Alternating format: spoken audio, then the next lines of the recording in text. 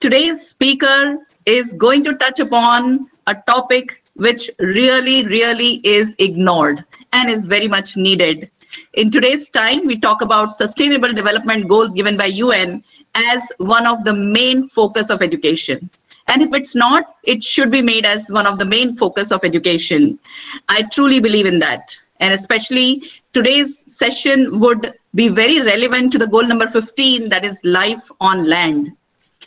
You all would be surprised to know that 60% of wildlife population has been wiped off in the last four decades. It is truly, truly uh, a very sad state of affairs. I believe children have an inherent love for wildlife. It has always fascinated all of us, and especially when we were children. So it's easy to inculcate this love and a desire to protect wildlife, to be in nature if it is inculcated right from a very young age. So schools definitely play a very, very important role here because in school, if wildlife and connection with nature is made a part of the curriculum, the children would be able to not only learn in an enjoyable and engaging way, which is being promoted by the new education policy, but would also become very conscious for the need to conserve nature, to conserve wildlife.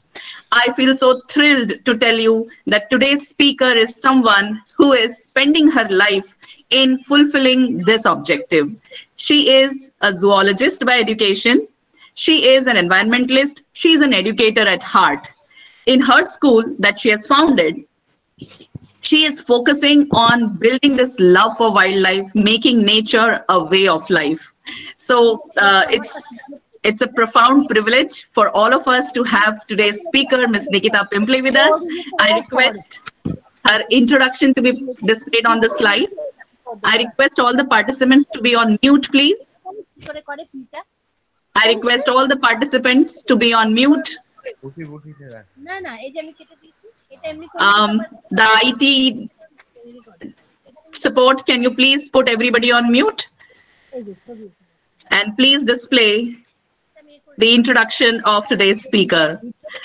So friends, with great privilege and pleasure, I introduce Ms. Nikita Pimple to you, an educationist, environmentalist, founder and principal of Rishi Valmiki Eco School, Mumbai.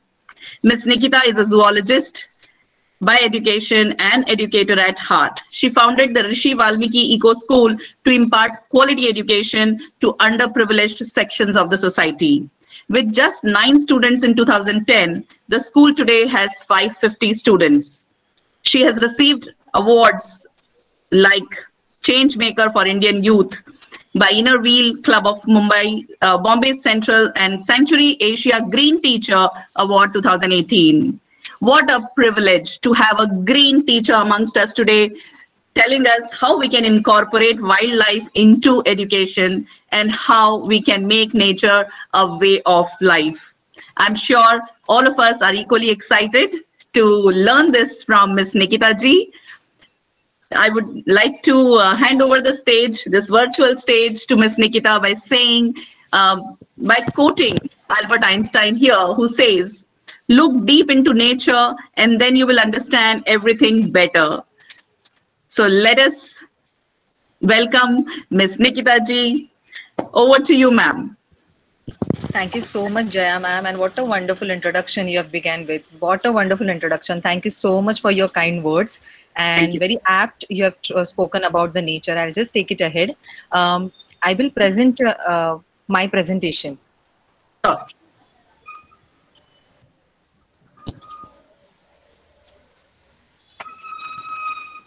Can we get to see you, ma'am? Yeah, yeah. Yes, you can see me. My video is on. Okay. Yeah. Yeah. Give me just a minute. Sure. You know, it was a surprise to know that such an such a school exists in Mumbai. It's in Goregaon, right? Or Kandivali? Yes, it's in Goregaon. The one branch is at Goregaon and another is at Manori, Marwe. It's in Mumbai. Amazing. We'll be visiting your school. Definitely, definitely. You're welcome, ma'am, and everybody's welcome. Uh, can you see the presentation? Can you see my screen?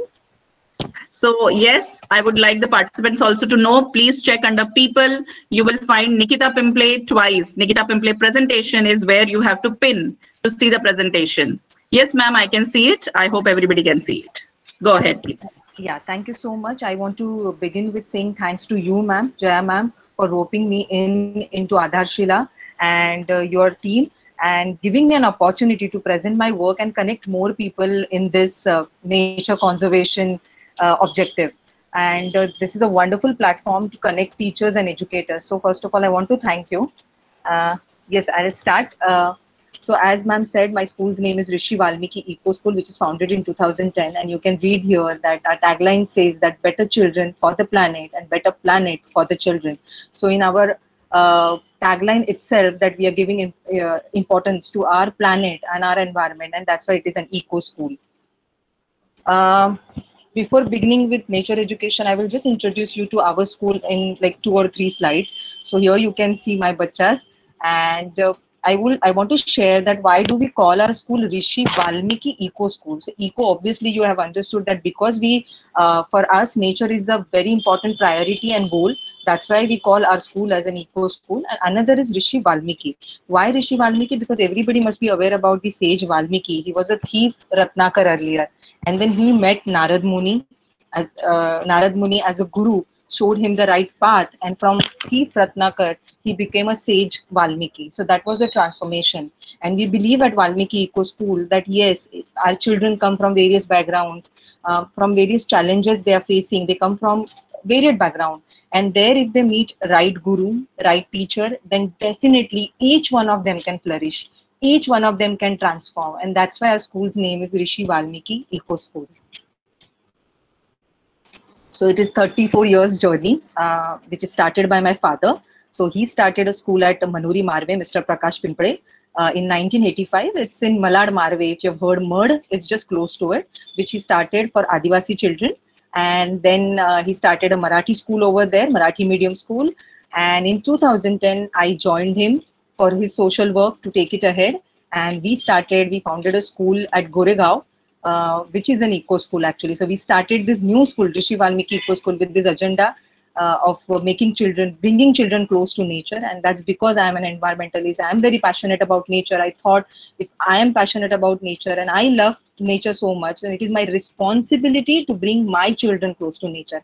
So with this agenda, we started Rishi Valmiki Eco School in Goregaon. Now we have a junior college also, uh, again for the ch orphanage children and uh, children from Adivasi hamlets in Manori itself and uh, one more English medium school in the same premises at Manori we have started again which is an eco school and now we are working on expansion of our projects through various other schools.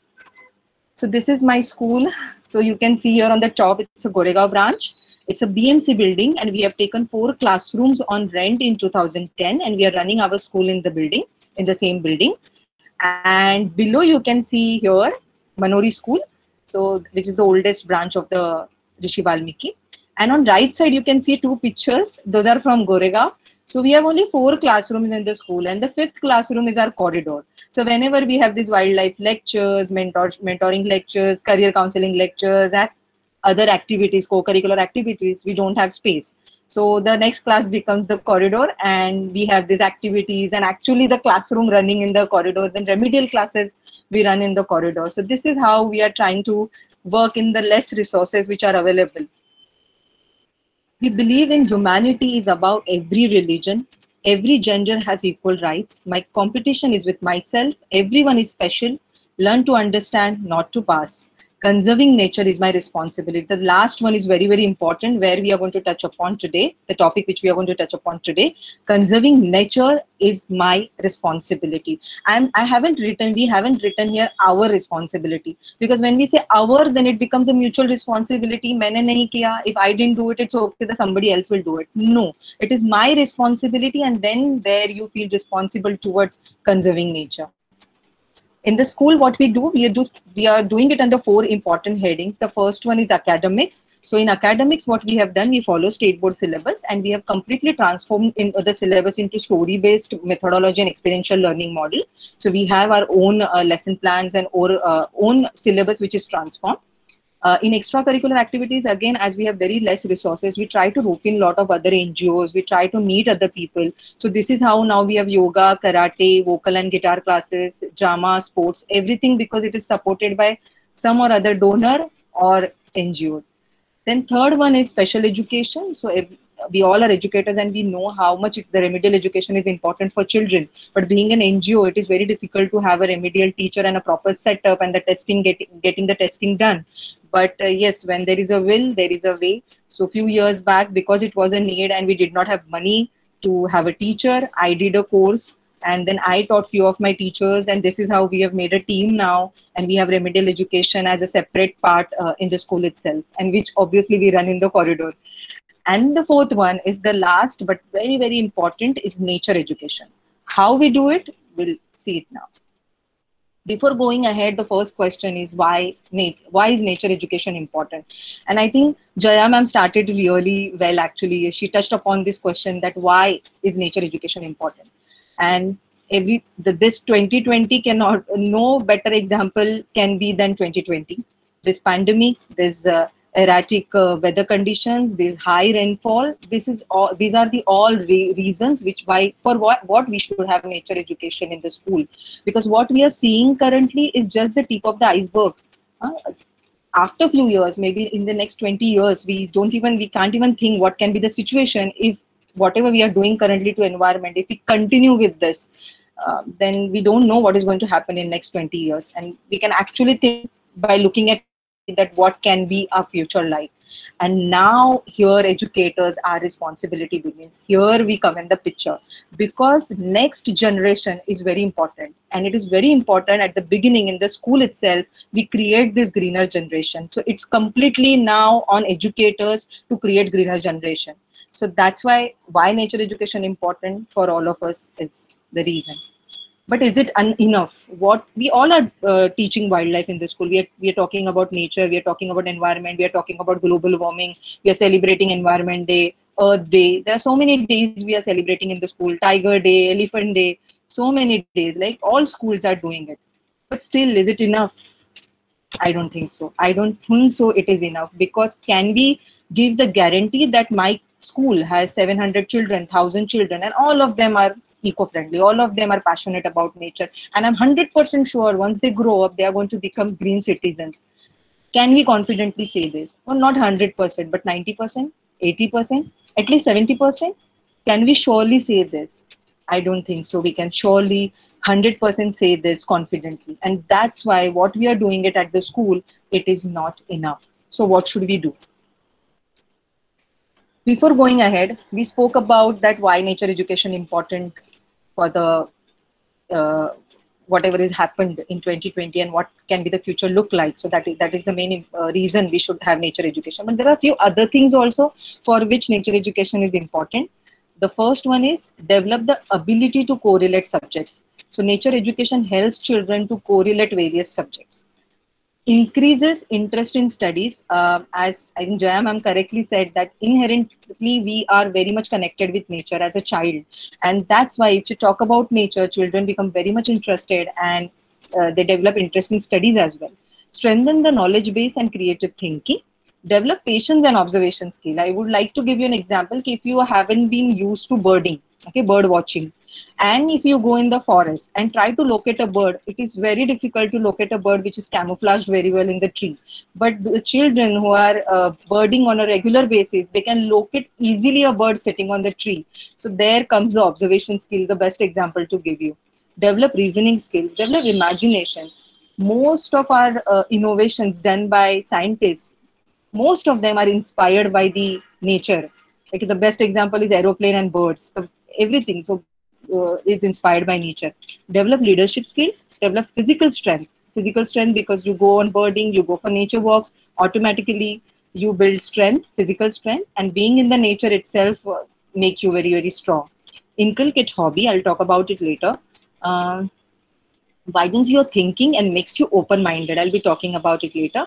And we are part of nature and we are dependent on it and it's need of the time that we create green generation.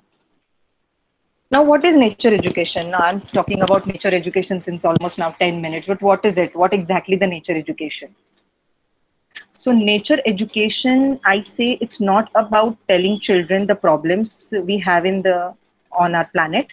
Uh, it's not about talking about how can we save our planet, you know, why thermocol is banned and why we shouldn't be using plastic.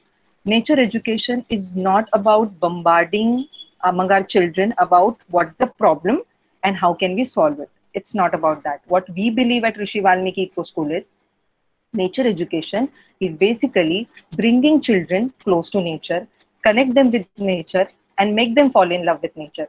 That is nature education.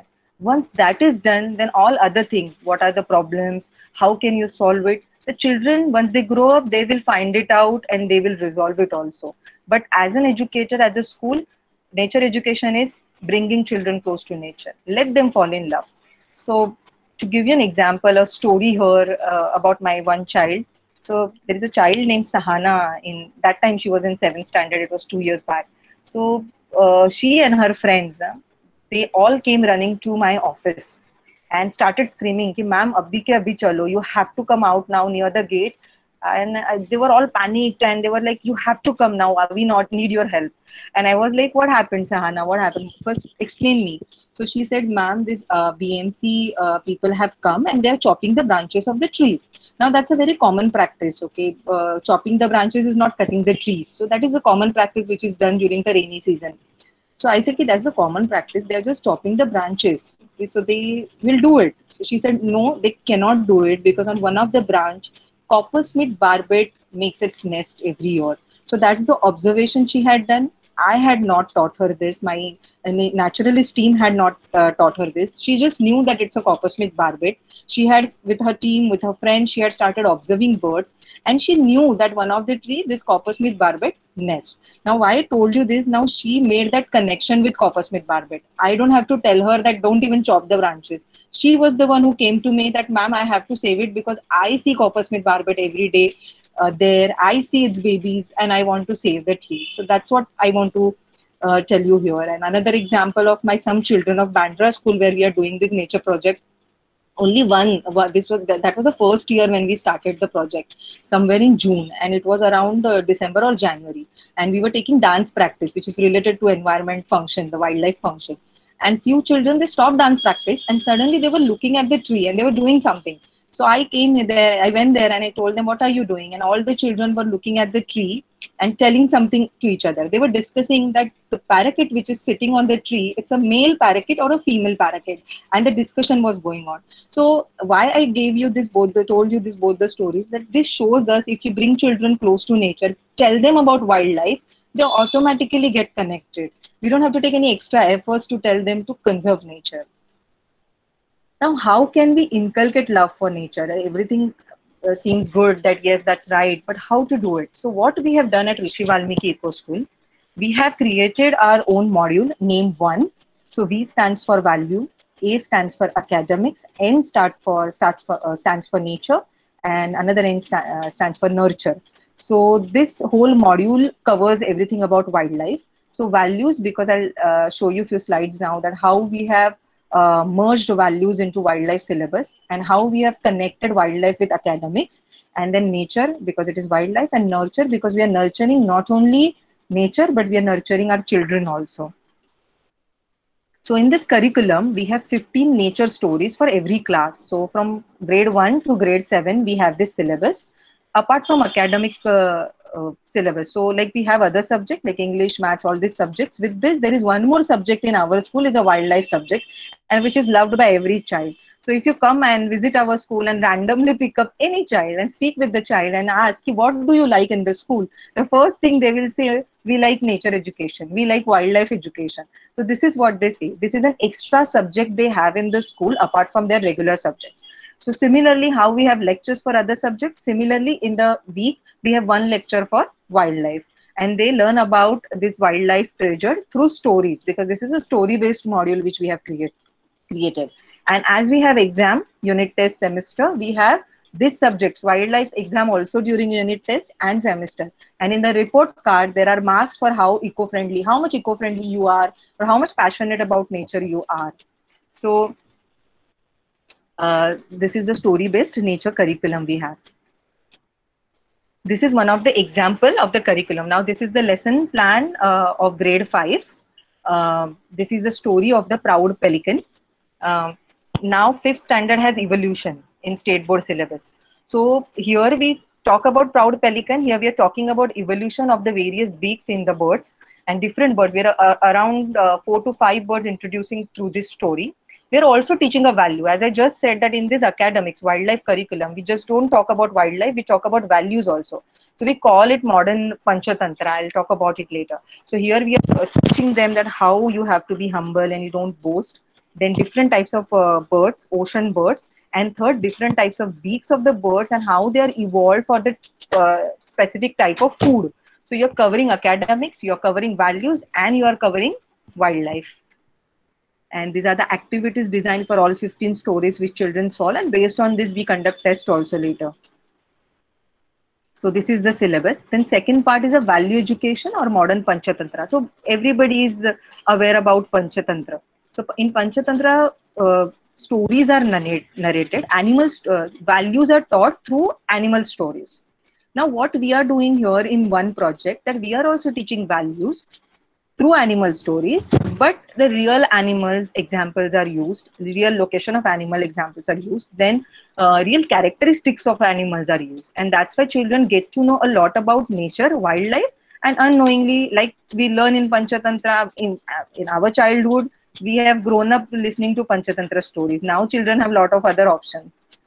So this is one of the example. This is one of our story, Krishna, Shadow of the Night.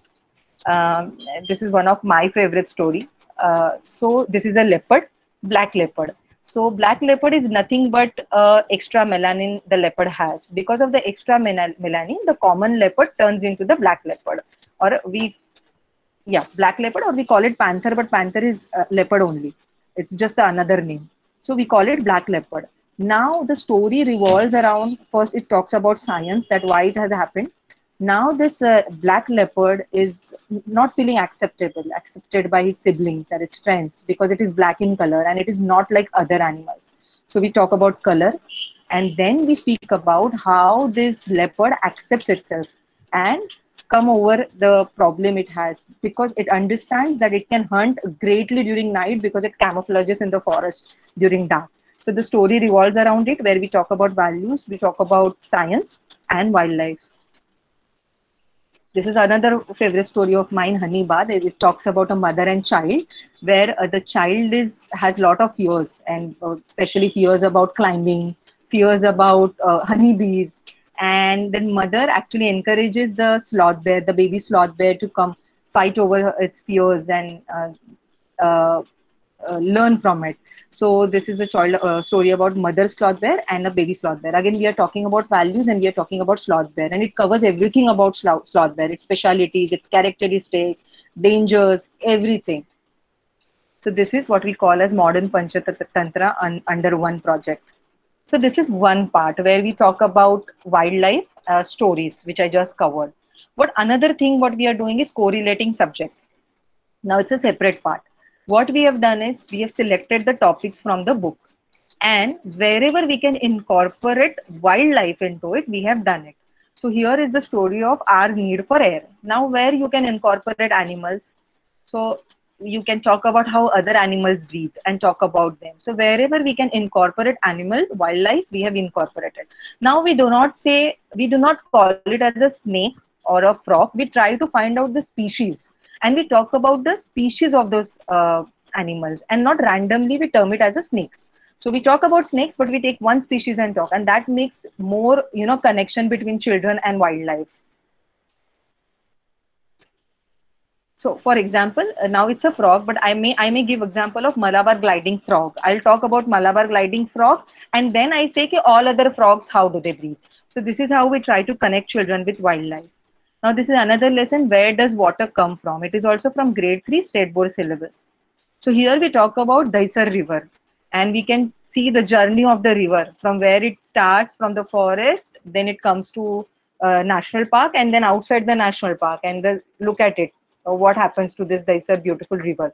So we talk about this then. So every uh, subject and especially EVS, science and geography, this can be very easily connected. So we try to uh, select the topics and do it. So we, are, we have done this for every grade. grade 4 evs our home and environment frankly speaking very very boring topic civics uh, is one of the boring topic and uh, it uh, in evs this such topics make, make children really bored if we feel bored then i can imagine how much children will feel bored so what we have done here when we are talking about our home and environment we are talking about home of wildlife now this makes everything interesting uh, so you can see here a harvester ant nest on the top left so it's a house or you can say the, shelter of the ants. Then below you can see the yellow bird. It's a baya weaver bird. It's its nest. Then in the middle you can see hornbill. It's hornbill's nest which is made of, it's very interesting. Hornbill makes the nest out of mud and poop.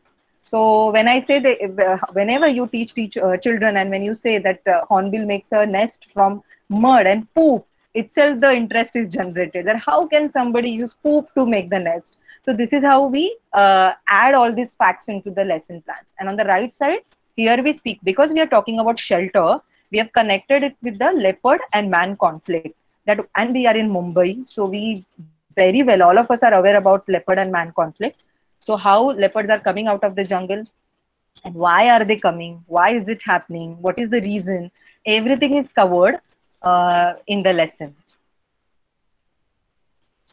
Then this is the lesson from grade 5 English, the 12 months. Uh, it's completely a story, nothing connection with the geography or science, but 12 months itself says a lot about geography. So we have connected this everything in that lesson in fifth standard. So we talk about seasons, how do they happen? So we connect geography with English and at the same time we are talking about the global warming. So we ask children at the end, we talk about global warming and we ask children the same story. If we are talking about global warming, how will this global warming will change the story? So children think about it and they come up with answers and how can we save environment. So this is how every lesson is connected. Mathematics. So we connect mathematics like this. So you can read here an example.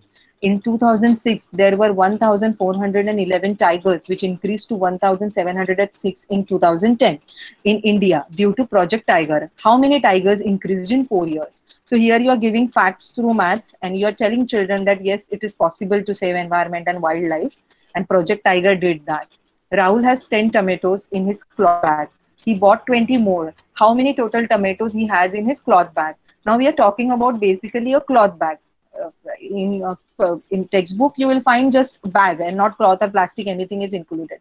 But we will have to think about it consciously that where can we talk about environment and nature through various examples. Number of great indian bustards were 1260 in the year 1969 it has decreased to 300 in the year 2008 how many great indian bustards we have lost? So just imagine the number. If i try to teach this to children through numbers, it maybe they won't be interested. But now it is it is in maths, they will calculate, they'll find it, and it would be a really actually when I, when I also was studying about it and read it is really shocking and it upsets us, really upsets us. So you can see how much number has decreased of Indian bustards, and we also talk about then Great Indian Bustard, which is that bird. So though it's a maths, we have a picture of Great Indian Bustard when we are teaching this yeah, this is uh, my, I would say, uh, turning point. This story was a turning point in my life because when I wrote this story and taught in the class a few years back, um, and the interest which I got from the children, the answers which I got from the children, and actually how much I enjoyed, I can't tell you. I enjoyed a lot. And then, then and there, I decided that whatever lessons or stories which we are creating and telling students to make it into the syllabus. And this few years back we made this syllabus where everything is in written. Otherwise everything was here in my brain but nothing was written. So now we have proper written one syllabus. And now not only me but there are other educators can also implement it. So this is a story of my family and home. So you can see here uh, the page of the book where we are talking about nuclear. One of the good thing even state board is doing they're talking about single mother single father family, uh, joint family, nuclear family. So that's a great change even state board syllabus has done recently. So what we are doing here, we have taken out the example of each family. So you can see bonnet macaque, the monkey, first picture of bonnet macaque. It lives in the joint family. Then come to the next picture, it is hornbill. It stays in the nuclear family. Then comes third, seahorse. It's a single father family. And then comes the sloth bear. It's single mother family. And the stories I'll just give you, say, tell you in two lines. Storyline goes like that Bonnet Macaque is really frustrated with his joint family because there are so many people to control over the Bonnet Macaque's actions. So finally, he decides and runs away from the house or from the tree house.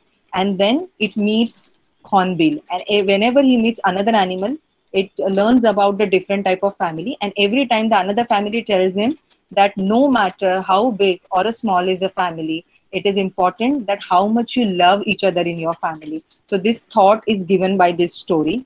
And then single mother, single mother, and finally the baby mom uh, bonnet macaque says, you know, I miss my mom and I want to go back to my mom, and it returns home. So this is the story where we talk about all types of families. And now what happens, I'll tell you my experience. Children feel that it is absolutely normal to live in single mother family and single father family because this lesson is for third standard we never try to touch upon the such topics because once you grow old in uh, adolescent or after seventh standard we do have such topic and discussions for younger kids it is very challenging also to discuss on such topics because nature makes it really really easy to talk upon difficult topics because if it is in nature it is natural right it is natural so it is in nature it is natural it is okay it's just that how much we uh, how we take it so when I taught this lesson few years back in the third standard, children spoke about single father family. They spoke about single mother family. They spoke that yes, I stay with only my mom, but they were talking confidently. There was no fear. There was, you know, uh, they, they were not tense to talk about it. They were openly discussing this topic. So this is what nature teaches us. It's not about only wildlife or conservation. It makes you a good human. So that's what nature teaches us.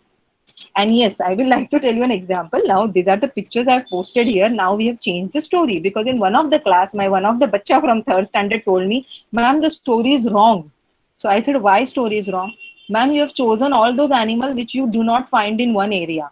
One is from some other state, another is from another state. So you have to choose animals from the same state. Otherwise, how this bonnet macaque will meet so many animals? So I was so happy, and then we changed the story now, and we have chosen the animals from the same area in Mumbai.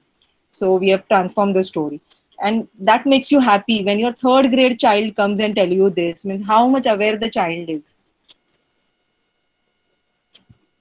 Yeah, very very interesting discussing taboo topics. Okay.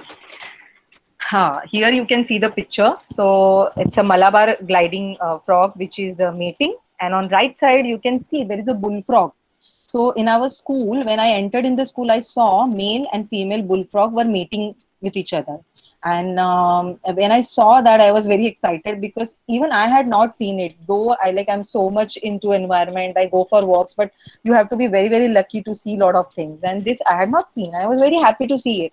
And then immediately all my children i made a group of six or seven children and my teachers were very excited. They got kids out and we explain about mating we explain about frog mating. Obviously the way children understand and the way they will understand at their level age level and uh, we, we said that now they will have kids and they lay eggs. So we talk about the life cycle of the frog.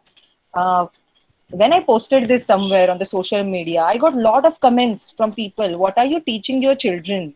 But this type of comments i got from the people that how can you teach mating of bullfrog to your primary section children? So why are we so scared to talk about this? It's it's first of all as an educator is your skill. How do you put it across uh, among children. And this nature makes it so easy that yes it is there in the nature. And my children now six seven grade children even fifth standard children speak about mating. They speak about how male attracts female during courtship period. Nothing wrong in that. It, it is we have made it taboo topic. We have said no no we can't discuss this. But my children in our school you'll find they discuss this very commonly and scientifically underlined. They speak scientifically. That is more important so I like to give you an example of Baya Weaver male. So Baya Weaver is a bird. Uh, we call it Sugran in Marathi. So Baya Weaver uh, builds a nest uh, basically and to attract a female. Once nest is built, then female comes, you know, check the nest. If she likes the nest, then only she mates with the male. So male has to build a proper nest to attract a female and get the partner. So the story is uh, revolves around it, and there are a lot of other facts in the story now we have a young naturalist. Uh, uh, she was teaching this story to uh, elders, not my younger kids. She was teaching it to elder in some of the program. So at the end of the story, she said, What did we learn from the story? She spoke about a lot of facts, and at the end, she said that you're missing on something. Okay, we learn from the story that you have to responsible before you get married. So this is what she said. She said that boy has to get the house done before she gets married to a he gets married to a girl. This is what we learn from Baya Weaver's story. Such an important lesson of life that you get into the relationship only when you are ready to take responsibility of that relationship. So through all these stories, we talk about these important lessons of life.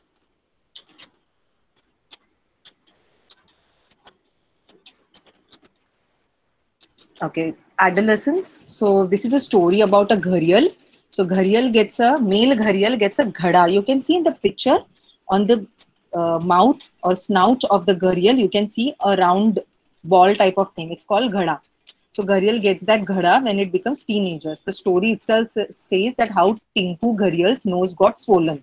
So here in the story, we speak about this is the Tinku is the first one to get ghada on the uh, on its uh, mouth uh, and then every each one of its friends start teasing he how can you get this ghada similarly in the classroom the boy which gets mustache first i think that boy got uh, teased by everyone in the classroom so we use this story and speak about adolescence and how uh, changes we see in various animals and as well as in human beings so that it makes very easy for children to understand and for teachers also easy to teach so yes, this was about taboo topics. Jaya ma'am, am I on a right path? Should I continue or anybody wants yes, to ask yes. Okay. Uh, no, there is no question, but yes, people are very appreciative and are in awe of what you do. Please thank continue. so much, ma'am. Thank you. Thank you. And the next parts come is eco festivals and environment days. So this is everybody, uh, each one of us educator must be aware that we celebrate it. I just want to give a little bit of change into it what we are trying to do is we do celebrate eco festival and environment days but when we make a calendar of the school as we have festivals and some days we have in the calendar school diary we have all these environment day listed which we are going to celebrate not all environment days so every year we decide which environment days we are going to celebrate and every year we change it so this year even in this lockdown period we just celebrated elephant day and uh, honeybee day uh, yes two days we celebrated Tiger Day we did not celebrate. Elephant Day and Honey Day we just and snakes. Yeah, Nag Panchami. Three days we celebrated. So what we do is at the beginning of the year we focus on the knowledge part. So celebrations are definitely now here you can see on the left side there is a Tiger Day celebration happening. So you can read. Uh, it, they are talking about Ustad and Jai. So this is I think almost four or five years back. So Ustad and Jai are the tigers from Ranthambore forest and they went missing. So it was a big story that time, and uh, we completely covered this in Tiger Day. And the second part is knowledge part because we focus a lot on knowledge. So we don't talk about save nature, conserve nature, save tigers. We, you will not find even a single chart which says save tiger. No, we don't talk about it. All charts talk about how tigers are great, beautiful species, uh, what is their number, how much it is reduced or increased, and all the features of tigers, like uh, how many bones it has, different types of tiger species, uh, how do they camouflage, all, all different, then how it has retractile claws. So we talk about all these characteristics of tigers. Now you will you may think that we are doing it from grade one, grade two. By the time children reach to seven, eight grade, they are already aware about all the facts. So what to do? So what we do is now you will definitely going to like this first to fourth standard no teacher no outside educators for nature come and teach my fifth to uh, ninth tenth we don't involve but fifth to 10th standard children we have made a group of naturalists they teach our first to full seventh standard. They teach first to seventh standard. So they talk teach about wildlife, the celebrations and everything is planned by them. Presentations are created by them, and they teach us. And I'm so proud to share uh, this with you that they, without BEd, BEd or any teaching degree, they teach wonderfully. Uh, wonderfully. That's the only word. Left hand side, you can see Handi so we have Dahi Handi. So we every year uh, celebrate different types of Handi. So this is Grantha Handi because we talk about conservation of water. So we talk here you can say Grantha Handi means books Handi. So here uh, books are placed and then uh, all the thoughts and everything coming from the Handi. So once you break the Handi. And last year we had uh, science Handi. So all the projects and formulas formulas were kept in the handi. So once you break the handi, all formulas will fall down. And we spoke about all the science uh, experiments and everything. So this is how we try to change the festivals into eco festivals. So in Ganesha, uh, I'm I, am i am sure that we all are doing it. We make uh, eco Ganesha, and then we have eco Ganesha comp- competition in the school for parents. Then rallies, then um, street play, and um, so we actually go into communities. Um, so I, it's like slums area. We go into slums where children stay, and there we do it. So for this, uh, my children and their parents, the environment is not at all priority. For them, having their two meals is the priority. Then, if I go and talk that you have to conserve nature, you have to protect nature, they'll say, "Ma'am, what are you saying? We are more worried about our children's education and two times meal, and we we don't have time to do this." But I'm so happy in these ten years, a lot of things have changed.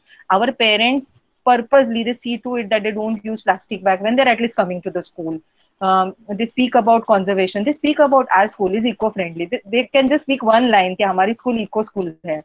उसमें से उनको जो समझा है वो समझा है but they speak about only in this one line that plastic नहीं यूज करते थर्माकोल नहीं यूज करते so they understand this is what is being eco friendly so that has changed for the people who are from community so just imagine how much educated people can uh, those who are from privileged background they can do so much if the people from underprivileged background can do this much kids uh, speak up. One of my child during open house day smitesh she is just passed out 10 his parent came and complained. He said ki what have you taught my child? And very i thought ki she's aggressive and she's going to fight with me and uh, with her teachers child's teachers.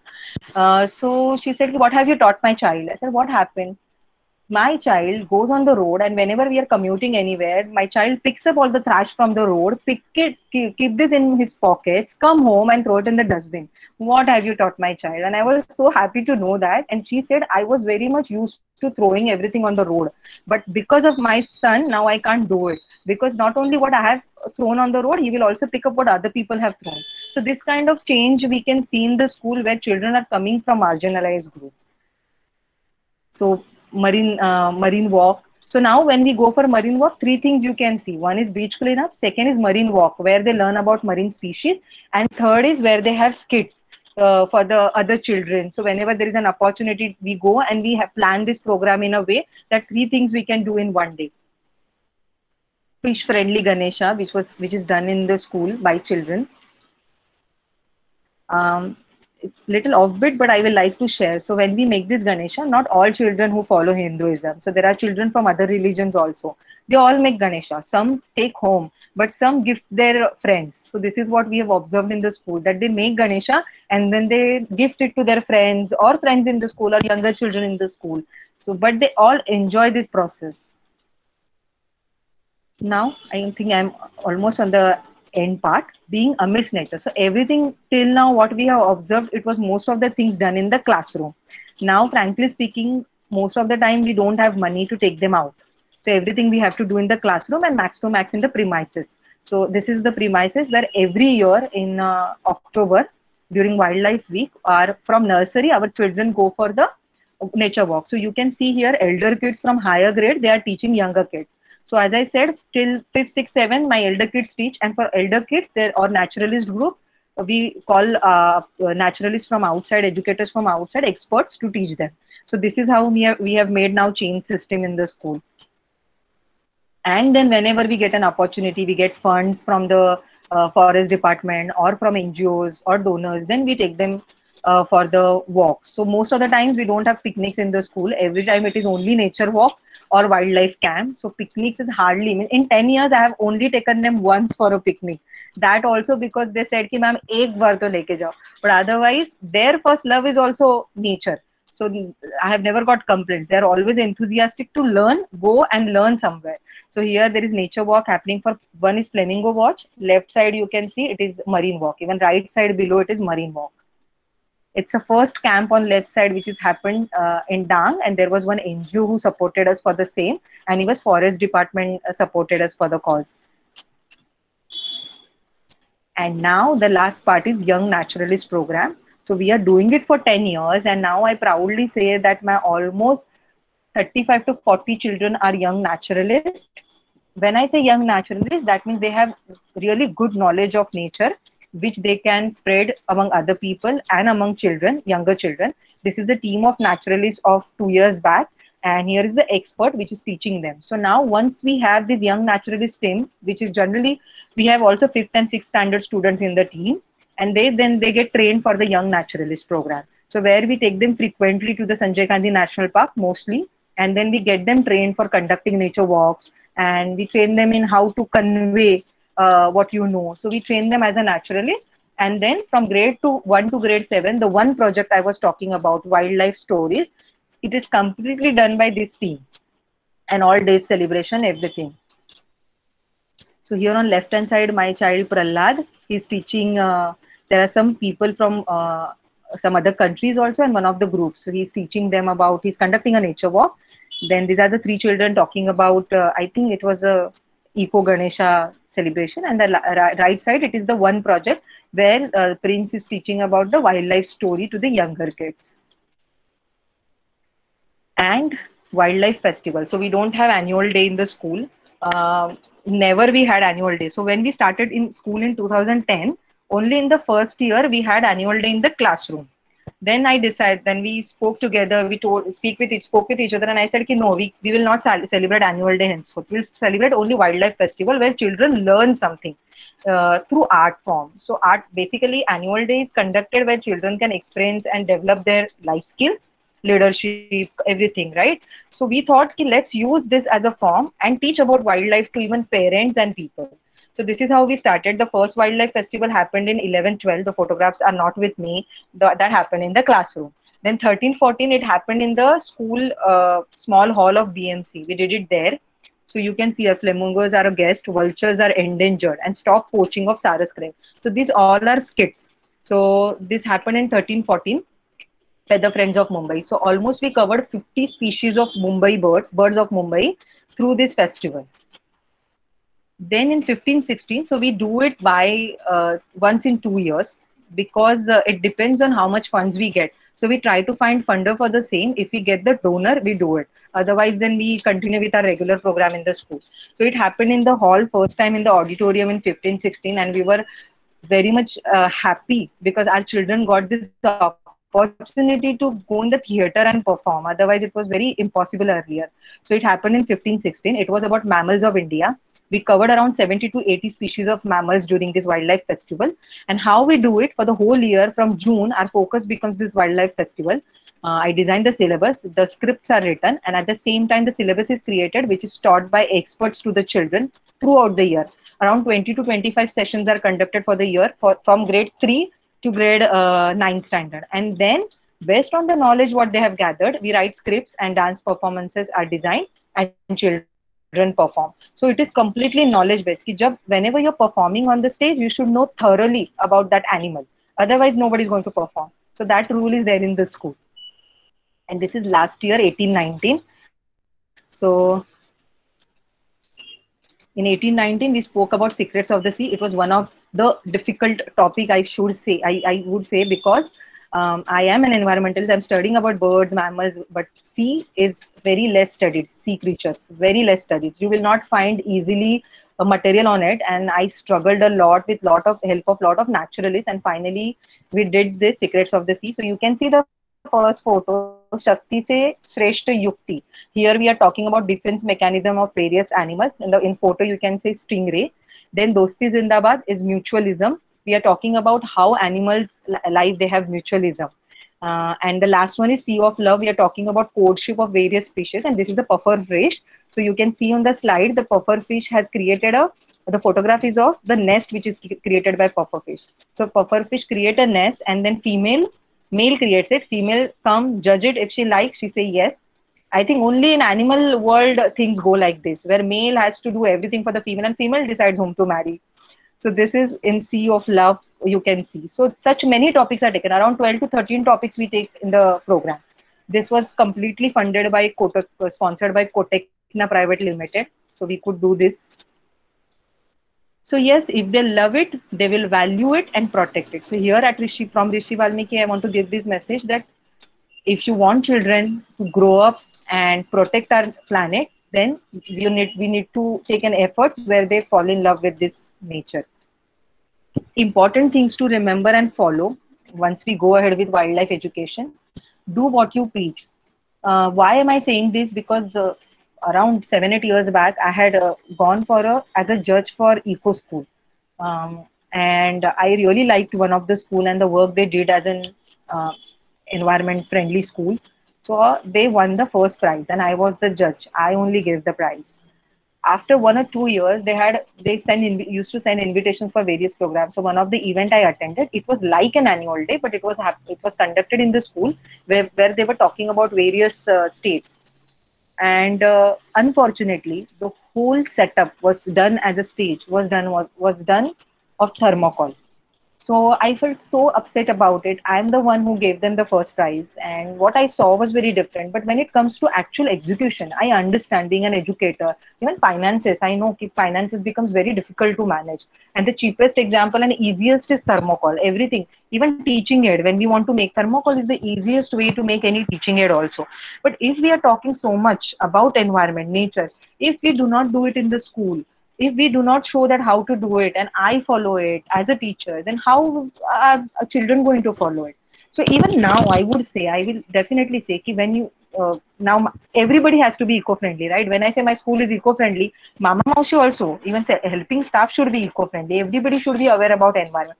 So every year i have to tell everybody conduct a session for the whole team that what all things we have to do if we want to save environment. So even sometimes now happens that i see some plastic uh, spoon in the school. So that time if, every time i have to go on the ground and try to remind teachers rem- teachers are okay but remind helping staff that no this is not allowed. So you have to be so much sure of the things what we do as an educator in the school. Till the time we are not sure and we don't follow it our children are not going to follow it. Only by telling them to do it and we are not doing it in the same school then this is not going to happen so yes, I want to say that do what you preach. Absolutely. Every activity should have clear objective. So why I want to say like for example, uh, if I'm celebrating Tiger Day, what is my objective? My objective is children should know about tiger and they should fall in love with tigers. That is my objective. So such clear objective is very necessary when we are designing any wildlife program. Again, as wildlife festival, I said, why am I doing it? Two things. I'm doing it because parents also should get aware second my children should gain more knowledge. So am i achieving that objective? If yes then only i should do that activity. Third one is focus on indigenous animals and plants. So especially plants and animals of india. Because uh, our syllabus especially uh, international board syllabus which has a lot of uh, examples from other countries and not india. But here we should focus more on indian animals and plants. Why i'll tell you what you see you get connected more? Something in some other country how will i get connected with those animals? If i see a bird i'm talking about in my vicinity in my backyard i'll be more connected. So it is very important that we talk about indian animals and plants. Uh, our syllabus uh, timetable exams and results should incorporate wildlife. So while if we want future greener generation as just said that it should be way of life and it will become way of life only if it has integral part of the syllabus. It is there in the syllabus like any other subject. It is there in timetable. It is in exams. It is in results. Then children know okay this is important. Yes and the last my impact so as i said so many children are already working as young naturalists uh, smith's story i just told you that how he pick up all the uh, rubbish from the road and throw it in the dustbin at home. One of my students, Sakshi, she just recently, uh, uh, during kite flying day, we had holiday and she actually saw one bird got entangled in the manja thread. So she actually called people, helped the bird to rescue, and as well as she spoke with, she went to the police station. She spoke with police. She said, "I want permission to take uh, conduct a rally I want to do it alone. She got the permission from police. She gathered all the people in her vicinity, children, and she conducted a rally. We were not involved as a teacher. Nobody was involved in the school. Later, I got the photographs from somebody else or some of my teacher who stays in the vicinity that sees actually what she's doing. And this is how we came to know how children are trying to protect the nature. Now on right side, the child is Kasim. He just passed out 10. He's one of the best naturalists in the school. Uh, he has immense knowledge about environment and he works with Sanjay Gandhi National Park also. So there are my few children around four to five. They're already working with Sanjay Gandhi National Park as a naturalist. So he's one of the naturalists. Uh, he work as all he also rescue birds. So he work with the team which rescue birds.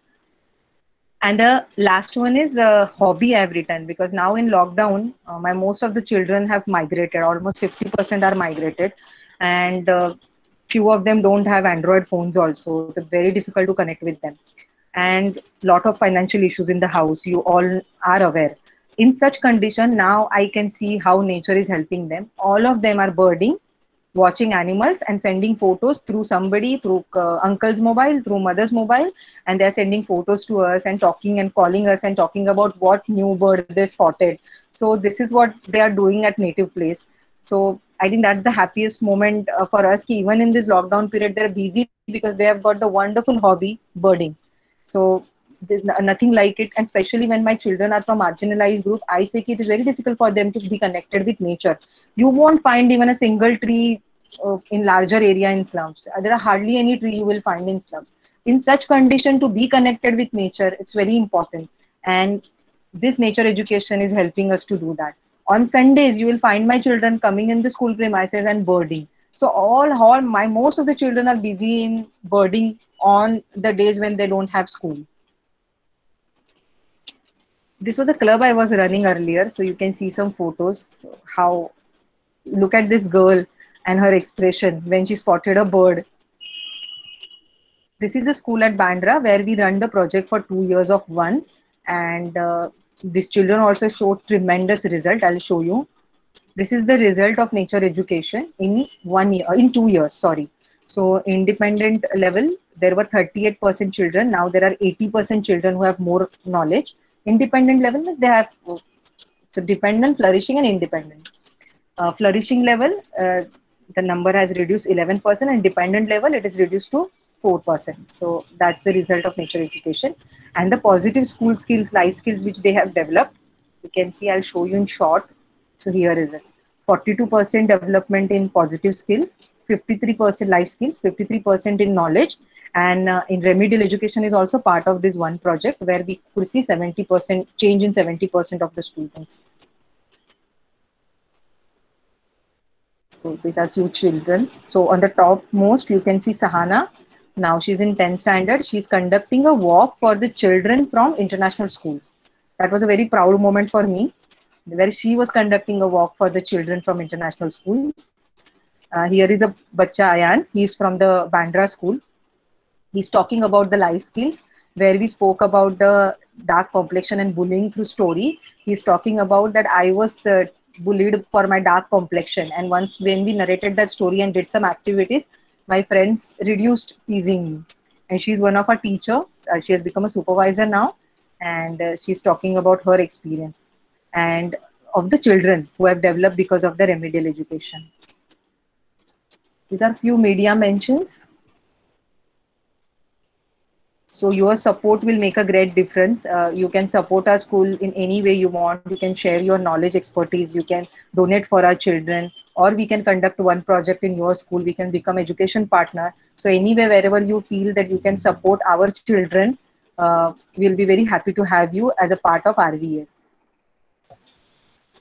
yes ma'am. Thank you so much. Thank you so much everybody for listening to me patiently. I think i stretched it, it a lot but thank you so much for listening to me patiently. Ma'am, I just wanted to show a, uh-huh. Hello. I just want yes, to show a small video, just three minute video. Is that okay? Sure, sure, please. Just three minute.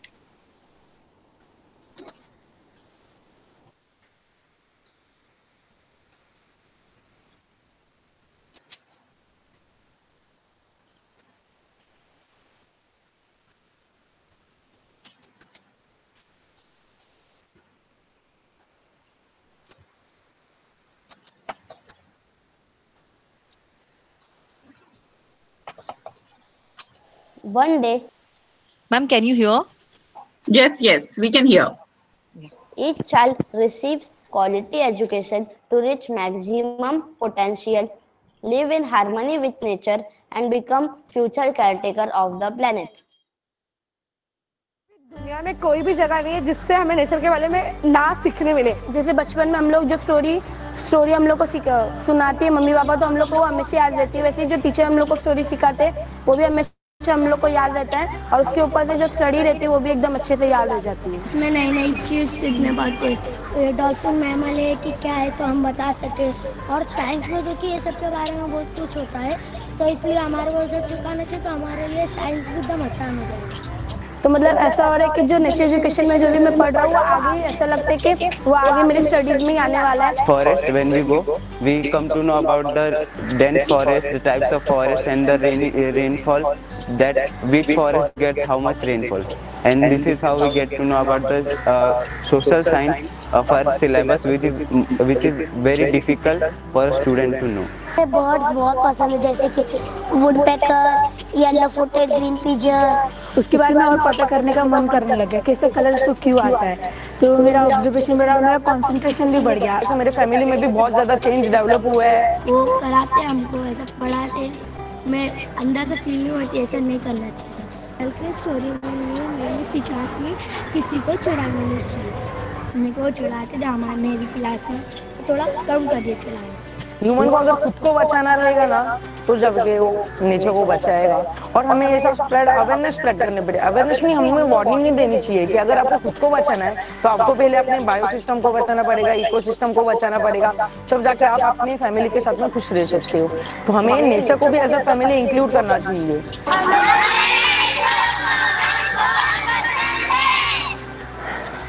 इसके पहले मैंने songs कभी नहीं पढ़े थे। मुझे songs के बारे में पहले नहीं पता। ए का साउंड ए बी का साउंड ब सी का साउंड क डी का साउंड ड A for B for C for से स्टार्ट किया था और अभी मैं पैराग्राफ भी पढ़ सकता हूँ और साथ में एक्सप्लेन भी कर सकता हूँ। तो मेरी इंग्लिश इंग्लिश स्पोकन भी इम्प्रूव हो गई।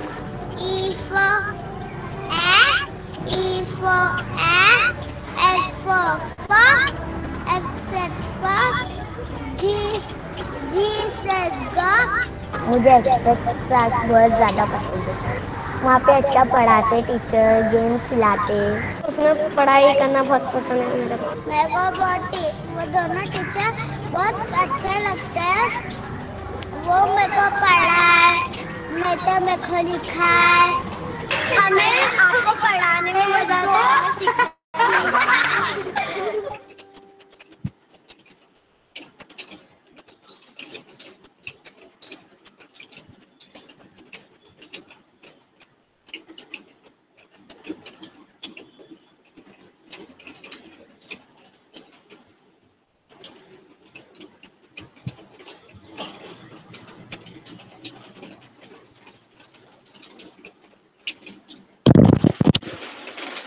Yes, ma'am, I'm done. Thank you so much, everybody. Thank you, Nikita ma'am. I have no words to explain, and hence I would not try even to explain how how you have impacted each one of us. Your children have uh, conveyed through their work, through their beautiful expressions, how deeply they have been impacted in your school.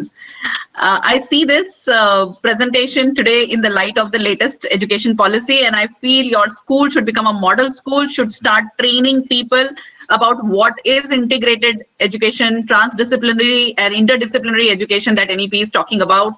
There is a lot to learn from you, and this is what all the attendees are also expressing. We feel so blessed to be listening about the wonderful work that you are doing. It definitely inspires us to join you in this movement, at least starting with a little bit and progressing probably with your guidance and support along with other naturalists. This is a new ray of hope Thank for you, so many of us who have attended today. Uh, ma'am, there is one question that I would like to put to you, which is from Ms. Chetna. She's asking, these stories that you have built for your curriculum, are they available uh, in any other language other than English? No, they are currently available only in English. We haven't uh, translated it. Okay. Um, I am sure you would uh, extend your support if we approach you for understanding the curriculum. Definitely, ma'am. Definitely. So, anybody wants to get this curriculum, uh, want to implement that curriculum in the school, do let us know. We can definitely work together. And even somebody, as you said, that ma'am said that are they available in any other language? We can definitely think of it. If anybody needs it, can we like translate few of the for few of the classes? We can do that. So definitely we can explore. And I'm I'm uh, thank you so much for your kind words, ma'am. Like I have tears in my eyes. Oh, ma'am, you so I. I couldn't praise you enough. I have no words to praise you enough. I can only wish you all the best and love to your children. Blessings to all the children of your school. It prosper and may just keep inspiring others. Thank so, you, uh, ma'am. Thank you. you know, it's all about collaboration. Like you said, you will try translating. I would suggest if why not all the educators come together and you share the content. We would also uh, extend our help in doing the translation. And as you said, we can join hands. Yes, I don't know how much we have to give to you, but we are all open and keen to collaborate. Definitely, Uh, there is a lot to learn from each one of you, ma'am. Each one of you. Everybody is doing great work, and that's why we are here under one umbrella. So everybody is. I'm. I'm going to learn a lot from you all for sure. So definitely, we can collaborate wherever it is possible and in whichever way it is possible. Thank you so much. See, when we take one step, uh, the universe conspires to make your uh, destination achievable to you. And this is what Miss Chetna writes here. She says, We are ready to, we would love to translate. See, this is how, you know, things happen. Thank So, you. Thank you, Chetna. I'll share Nikita ji's contact details. We'll all remain in touch and we'll see how we can uh, keep doing good work in our schools together. Uh, I would like to introduce one young boy who is a change maker. Is Arav Seth. He's a student of seventh grade. Uh, he's from. Uh, I would like him to introduce himself from which school, which place. He is a child ambassador for SDGs. He's a part of a social group which is uh, creating big changes which has got children as members. This is called SDG Chopal. I happened to attend one of the sessions that this boy conducted. I was so impressed. I especially invited him as a guest of honor today to attend your talk. Arav, if you are here, kindly unmute yourself. We would love to see you. And please express your views. Just feel free to express yourself in two, three minutes about your passion, if you wish, about today's talk and the relevance of this topic in today's time with respect to SDGs. Over to you, Arav. Thank you, ma'am, for uh, giving a very brief introduction about me. Yeah, so I'm Arav Seth and I'm a 12 year old, a climate activist, and also a blogger. I've written many blogs on trees, uh, plastic, and many global issues.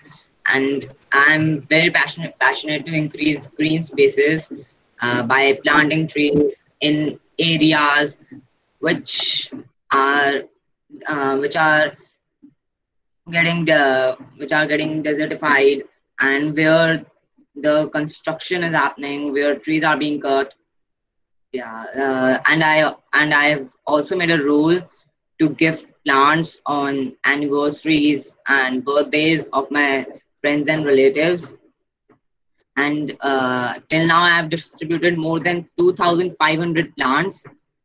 Uh, and many of my friends were inspired by me and they have also started following this suit um, and i'm i and last year along with my team i've planted more than 3000 trees uh, in areas such as Gazipur dump yard and uh, near yamuna river and we have Wonderful. also uh, many uh, river cleaning programs uh, where the we got an amazing response with over 100 people participating in it and yeah and uh, speaking about this topic i think wildlife is something that goes hand in hand with trees because True. if uh, if there is no wildlife there will be no pollination and hence there will be no flowers which uh, and trees which uh, will um, bring a great disturbance in our ecosystem.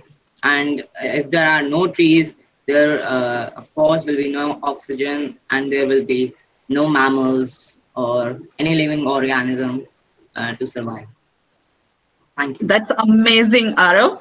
We would like you to tell us which school you're from, which city you're from, and what does SDG Chopal do? And can our students be a part of uh, a part of SDG Chopal? Yeah. So, yeah, I'm from Bharatram Global School and I study in grade 7th. Uh, so, basically, SDG Chopal. Your school Sorry? is in Delhi. Your school Yeah. is uh, located in Delhi. Yeah. Yeah, so uh, SDG Chopal is an is a great initiative uh, where uh, it is it is an organization which is working to empower the rural areas and educate them about SDGs because most of the Indian population lives in the rural area and we have to educate them if we want to bring an uh, bring a positive impact. And yeah, uh, many of the children are part of it who work for SDGs and uh, I request you all uh, to uh, join it and uh, and work with us. Yeah, thank you. We are organizing a talk by Ara for our students very soon. And I'm sure after listening to you, our children would be very keen to be a part of uh, your initiatives. And they would like to be ambassadors for SDGs just like you. You are an inspiring boy, and I can see a very bright future for you. I wish all your dreams come true, Ara. Um, thank you for being here. I would uh, like to convey to Miss Nikita ji that uh, we also have Miss Rekha Shahani ma'am here, who is associated with Initiatives of Change, a global movement. She is also a part of uh, ETST core committee, that is Education Today, Society Tomorrow. She's also a trustee of PCGT, that is Public Concern for Governance Trust. And she says that we need to collaborate, Nikita ji, with you because you have a lot to convey to our teachers, inspire our education fraternity. I would like Rekha ma'am to briefly express her thoughts. Ma'am, if you are here, kindly unmute yourself. Hi, Jaya. Thank you so much. Like I always say, you inspire people and you get people who inspire us. So thank you once again. So, So kind of you. No, really. So um, Nikita it was lovely, and I wish uh, आप बैंड्रा में आते हमारे खार के school में आ जाते but like Jaya said we have a combination of educators from all over the world. So please come and speak to them share your best practices and we do this program from our side which is called kuch or besides academic something else.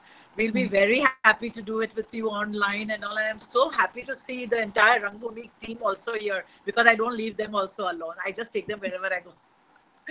So please uh, get in touch with me give your number Yes, ma'am. uh, i'm sure jaya will connect i just told her we should must get you for the best practices to share with our global teachers you know would love Sure, to learn ma'am. from you and wa- मेरा खुद का लालच ये था that I'm one nature person and when I was hearing you I was feeling so good because my next week is all about nature only Oh, so wow. thank you so much Jaya and thank you so much lovely meeting all of you Thank you, Rekha Thank ma'am. Thank you so Thank much. you for being with us.